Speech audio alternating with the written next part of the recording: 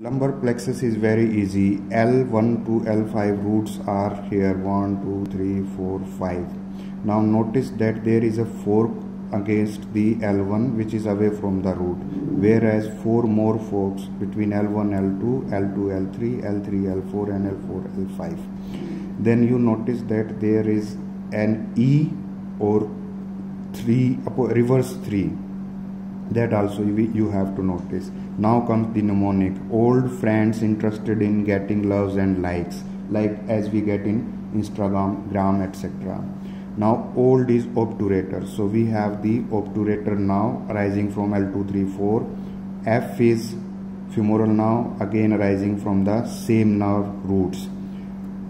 In iliohypogastric uh, interested ilioinguinal getting G uh, genitofemoral, L lateral cutaneous nerve thigh, A accessory obturator, now L lumbosacral trunk. It is very easy. Just remember mnemonic old friends interested in getting loves and likes.